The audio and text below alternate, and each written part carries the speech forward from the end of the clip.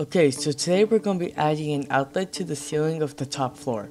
For this we'll need a drill, some drill bits, and the stud finder.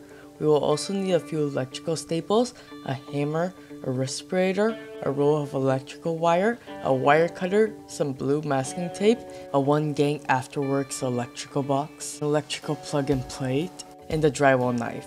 If you don't have a drywall knife, a simple serrated knife from the kitchen will work. That is if you don't plan on using it for food anymore. The first step is to drill a hole where you want the outlet to be. Do not pick a place close to where your studs are because we are installing an afterworks box.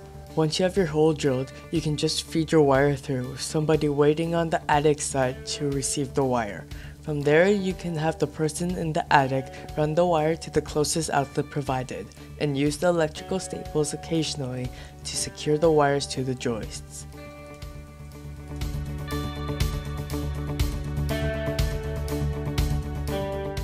For us, this is where we're going to be tapping the wire we just ran into. You want to tap the place before the switcher outlet so it provides a steady power supply. We'll have a link in the description below to a video with more detail on this process. Now back to the normal side, we need to cut a hole in the drywall for the electrical box. For this, first we'll mark the hole to cut. We can roughly trace around the electrical box for this.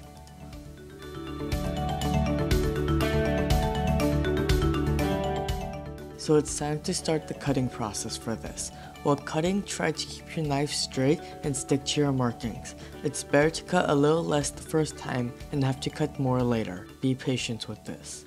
Then we can slide the electrical box in and screw it into place. It's time to connect up the receptacle now. This is simple. Just take the red slash hot wire, strip it, and screw it in with the gold screws. For the black or cold wire, do the same thing except with the silver screws. Finally, for the ground, screw it in with the green one. Then you can tuck the wires in and screw the receptacle into the box. And finally, you can screw in your outlet cover to give a professional look.